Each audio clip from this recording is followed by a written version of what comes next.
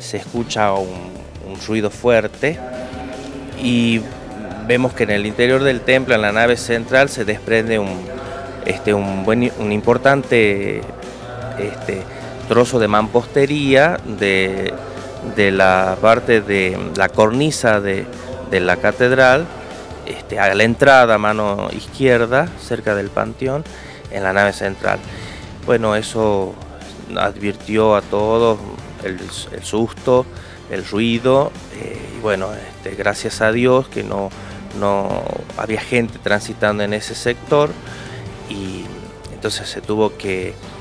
este, restringir esa zona, bueno, prevenir a que la gente no pase por ese sector y eso fue lo que pudimos hacer ayer en la tarde, así que bueno, ahora estamos esperando que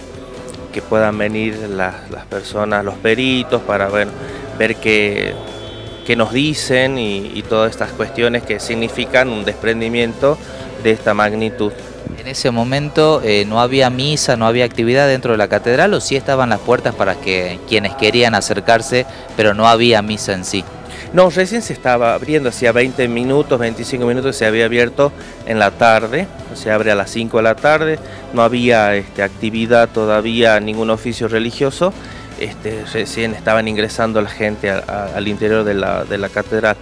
así que bueno, no, no había, después sí se fue la, misa como siempre en, la, en el horario de las 19.